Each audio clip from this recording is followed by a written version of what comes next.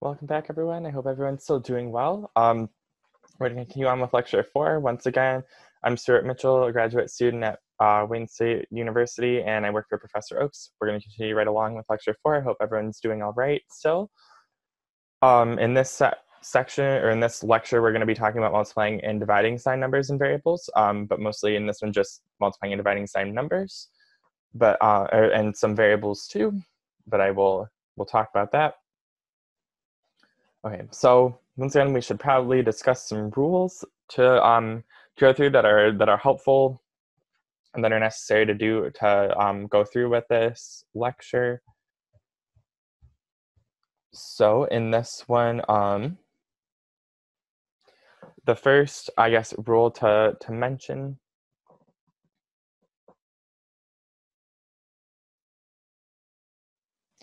is that a positive number times a positive number and a positive number divided by a positive number will result in a positive number. For example, um, or just I guess to visualize, for any two numbers, any two positive numbers, if you have x times y um, you're going to end up with positive xy. You just multiply them together like that. Or if you have x divided by y, you're going to have positive x over y. Um, you're just going to end up with positive numbers. Whenever you have two positive numbers, you're going to end up uh, end up like that. Uh, with another positive number as a result. When when we're considering two negative numbers, it might be uh, um, a little bit counterintuitive to think about, but we have a um, if you have any negative number times another negative number, and uh, a negative number divided by another negative number, it's always going to re- uh, result in a positive number that mostly um, just works because you can or because uh, you can like factor out the negative one in those and um and then like cancel it that way. Um it sounds a little uh, less intuitive and makes a little less sense when i just say it so i'll show you. If you have for example negative x times negative y we can think about both of these negative or both of the negatives in front, namely this uh, and this one and this one, as multiplying a positive number by negative one. And then we can, since multiplication, as we know, is commutative, which means you can multiply in any order to get the same result. Um, you can pull these negatives out front. So you'd have negative one times negative one times x times y. Well, like we were talking about in the last lecture, um, for, as the reason that a negative uh, or minus a negative is plus positive, when you multiply two negative numbers together, um, like two both negative ones together, they're gonna um, they're gonna result in a positive one. Because any two negative numbers multiplied together is equal to a positive number, which is equal just then to x uh, xy, x times y, positive x times y, um, because these negatives cancel each other out. Any two negatives multiplied together will give you a positive number.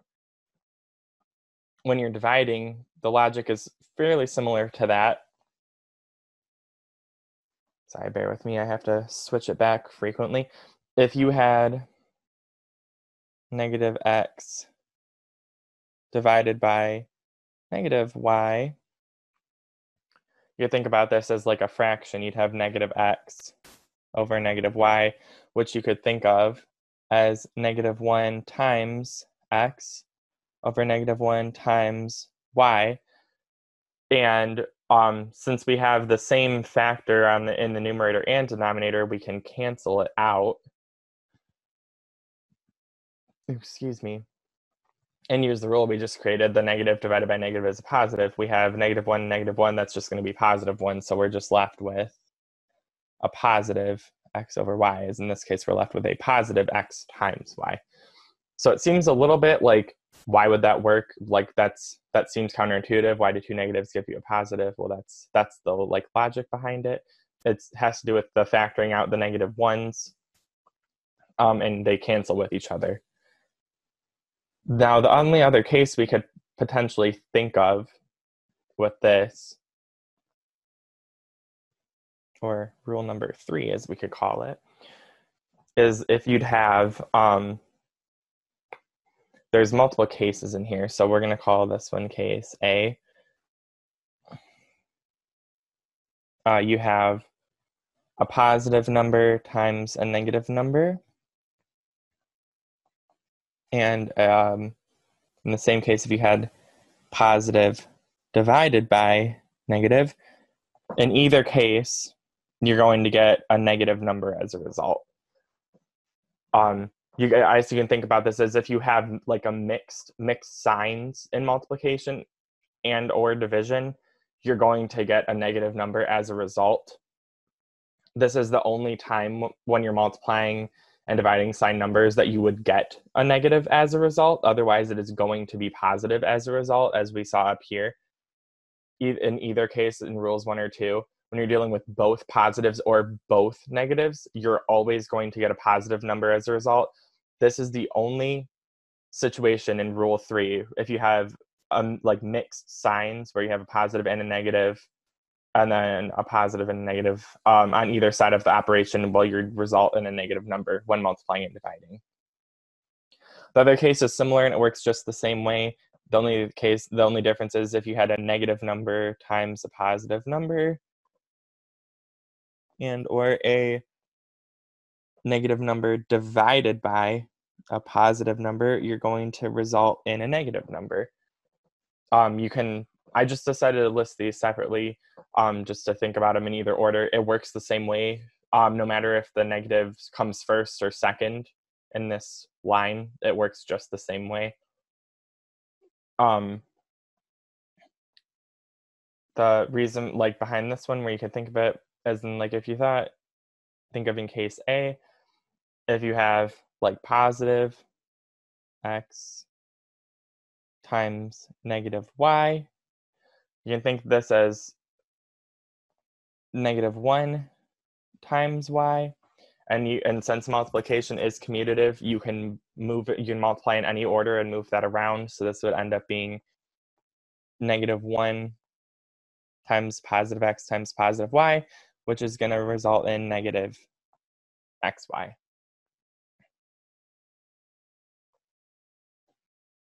Um, the division's really sim uh, really similar. If you had um, positive x over negative y, um, you could uh, you could think of this as x over negative 1 times y. And since it's just um, just 1, you can, um, like you're just dealing with a factor of 1 at this point, you can move the negative uh, wherever. It's just um, it's going to apply no matter what. Um, in either case, like if you had the negative in the numerator or denominator, it would make the whole fraction uh, the whole fraction negative, the whole uh, division negative, the result. So you'd have the whole quotient negative. So you'd have negative x over y. And in part, if I was to go through it with uh, them in different directions, like in case B, it's the exact same logic. It's just in different directions. The same rules apply. Um, that's the only difference there. So now we can start going through some of the examples. So in number one, we have negative 9 uh, multiplied to 11 minus 4. This is another test of, but you could think about it in two ways, either the distributive property or um, order of operations. I'll show you both because either way works just the same. Although I think one is easier than the other, but it's it's totally your call.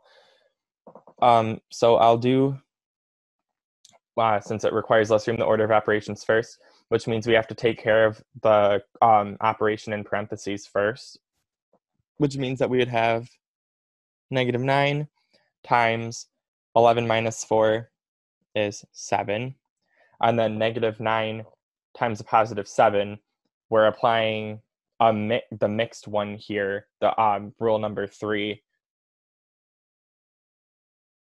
here because we have negative 9 times negative 7, or negative 9 times positive 7, pardon me. Let me erase that because that looks very confusing. I tried to fix it, but it did not work that well, quite how I like would have liked it to.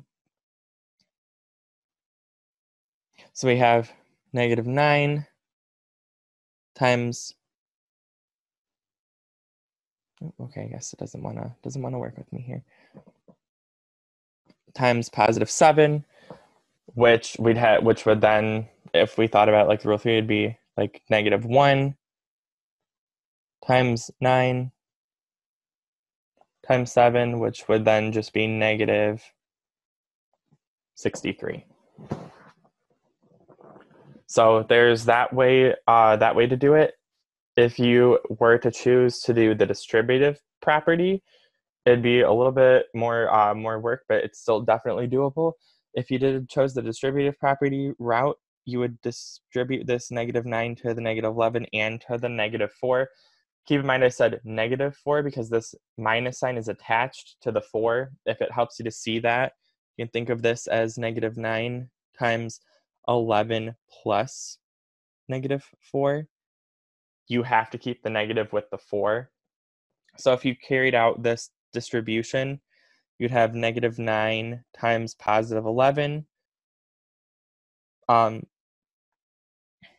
and then you'd have plus negative 9 times negative 4. And then um, following order of operations and um, and rule number two here. A negative number times a negative number, so negative 9 times negative 4 is going to give you a positive number. These negatives are going to cancel with each other. Here, they're going to cancel out. So we'd be left with, um, if you consider negative 9 times positive 11, it, it's like we did up here.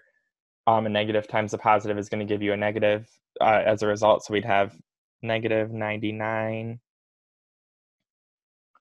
um, plus a positive 36, which is still going to have you result in negative 63 for your final answer.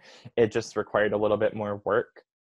Um, it's up to you how to do it. I just personally think using order of operations or this direction is easier because it requires less computation um other like but you know it uh, you can apply two different rules to get the exact same result it is completely up to you how you'd like to do that and switch colors for number two since we might be overlapping here just a smidge um okay so in number two we're going to use we're going to end up using rule number two and also just the um the rule that multiplication is commutative and i know i keep saying that over and over but it's a really really important rule to have especially when you're multiplying and dividing sign numbers and variables, it's important to keep in mind because it can help you think about it better.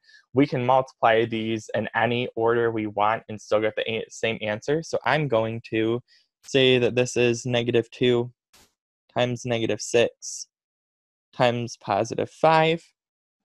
Using rule number 2, we know that a negative number times a negative number is going to give us a positive number, or in other words, the negative will cancel. So we can think of both of these as pos, like if you're multiplying positive numbers now, 2 times 6 we know is 12, so we have 12, positive 12 times 5 now, which we know is 60. So that's one way to think about it. You could multiply it straight out and use um, rule number 3, uh, if you chose to do it um, a different way like that. Like if we carried this over here to consider it and we did um, negative 2 times 5 times negative 6. In applied rule number 3, a negative times a positive is going to result in a negative. So this this would give you negative 10. And then we're still multiplying by negative 6. And then we could use rule 2 in this step. A negative times a negative, both of these negatives are going to cancel with each other.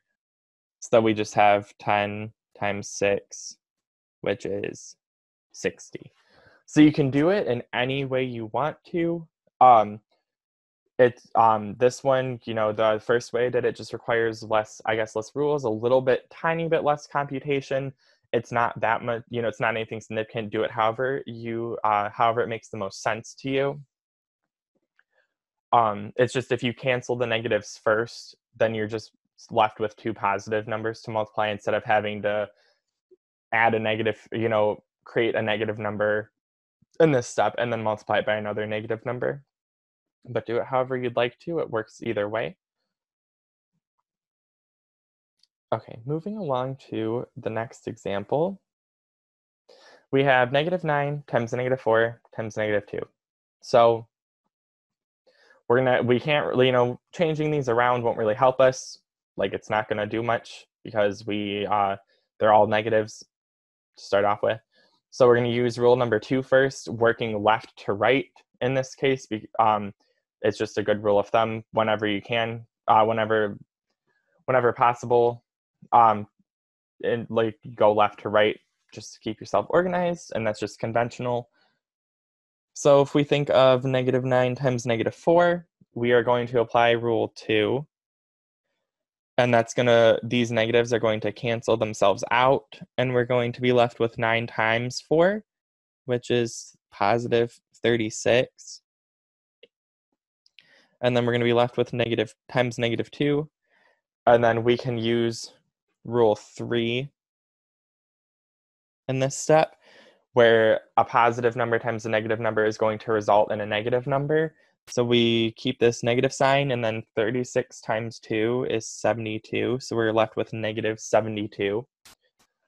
There's, I mean, there's not like really a super different way you could do that. You could change the order that you multiply them in if you like doing a certain product over another uh, first, but otherwise it's pretty pretty standard just to multiply left to right.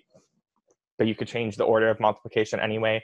But that doesn't change this the fact that you have three negatives multiplied together so you'd have to apply the different the different rules no matter what order you multiplied in in this case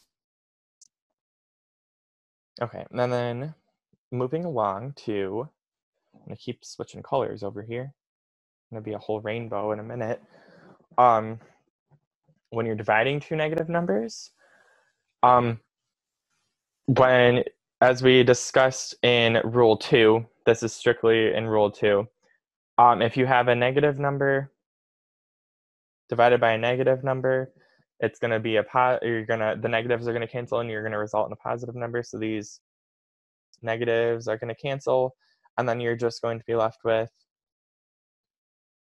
Oops, I don't know what just happened there. Thirty divided by six, which equals five. So that one wasn't that one wasn't too bad. Okay, sorry, this uh, some of the text didn't come with this one. This is supposed to say, uh, oop, that's not what it's supposed to say. It's not supposed to say oop. Um, what it is supposed to say is um, is uh, this is a statement, and it's supposed to say true or false. So we're looking if this is true or false. So we have to, in order to do that, we can just straight up do the division ourselves and see what we get. So if we consider negative, we can think about this. You can apply the negative here to either the numerator or denominator. It is completely up to you. I always choose when I can to apply it to the numerator just because it seems easier that way for me. That's just a personal thing. But it doesn't it doesn't matter. Either way you want to do it is fine as long as it goes to one or the other. But now that we have a negative number divided by a positive number, that goes down to rule three, which we can take a peek at again because I feel like we haven't seen it in a minute. In this case, we have a negative number, a negative number divided by a positive number. So we're going to result in a negative number. That negative is going to carry to the quotient. So this will be, we're going to carry that negative to the quotient, and then 54 divided by 6 is 9. But our answer overall is negative 9. And they, they're trying to claim that it's equal to positive 9. So this would be, uh, it would be false. Sorry, that was terrible, terrible handwriting. Let me redo that for you real quick.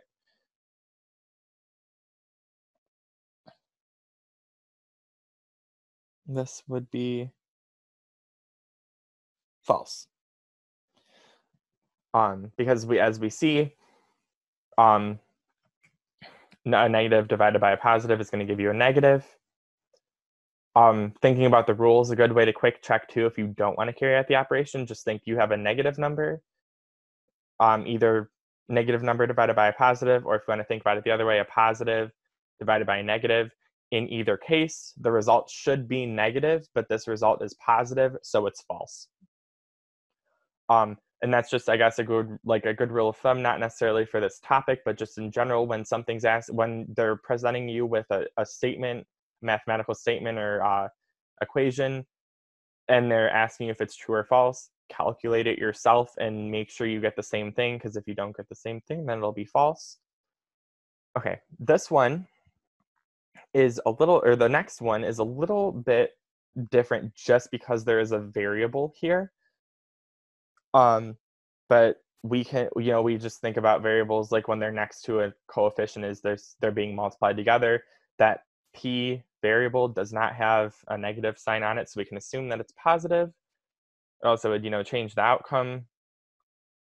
Um, so if we think about the um, the commutative property of multiplication or that multiplication is commutative because that the cross in the middle is for multiplying, we can switch the order that we multiply in and still uh, get the same answer. So we can think about this as negative 4 times negative 6 times p.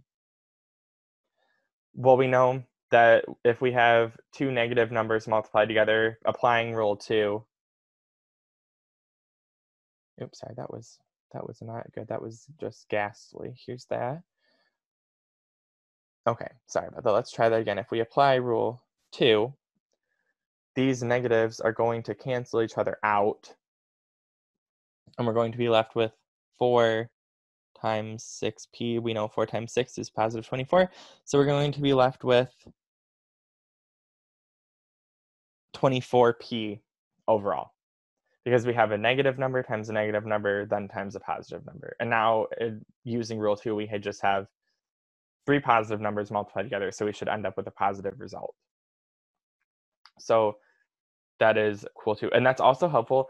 The commutative property of multiplication, meaning that you can multiply in any order to get the same result, is especially helpful when you introduce variables to the mix because if you have coefficients you're generally going to want to multiply the coefficients together because then because you can you'll get another result to simplify um, and then you can put the variables together as well um, and organize them like that. It's just uh, it's helpful for that for that regard quite a bit when you're uh, especially when you start dealing with variables. So i know i'm talking quite a bit. I just want to make sure that you have all the information that i could possibly give you about this. Okay so first of all we're going to apply the commutative property of multiplication because we want to switch the order of this around because this we can evaluate this negative 12 times 4. We can't really evaluate a times b. They're just variables. All we can do is just multiply them together and call it ab. It's just another variable. Um, so we can call this negative 12 times 4. And then if we put the a and b together, we just have times a times b or times ab. Well, now we have a, um, a rule two situation, which we'll take a peek at again. Um, oops, sorry, I scrolled a little bit too far. Um, no, I'm sorry, that's not rule two that I defined. It's rule three. We have rule three situation. We have a negative times a positive. So our result should be negative. So keeping that in mind, our result should be negative. And then we have 12 times 4, which is 48. So we're going to get negative 48 in general. AB is simplified as much as it possibly can be. So it just gets multiplied along and you end up with negative 48AB overall. So that is how you'd evaluate this um, with variables involved too. And like I said, just to reiterate, because I think it's just super important, um, the commutative property of multiplication becomes especially important when you start working with variables too, because you're when you start working with variables, you're always going to want to combine all of the terms that you can to make it as simplified as possible. Um, and that uh, when you're multiplying and dividing them, especially when you're multi- like when you're multiplying them as we did in uh, numbers six and seven respectively you um, you can use the commutative property of multiplication and commute or switch the order of the multiplication to put the variables after the coefficients or after the numbers the physical numbers that you see the concrete numbers that you see to um, to simplify it more um, sorry to drag that on. I just think it's important, and I wanted to make sure that I stated that as clearly as possible. Um, but that concludes our fourth lecture. Uh, thank you for listening, and I will talk to you next time. Thank you.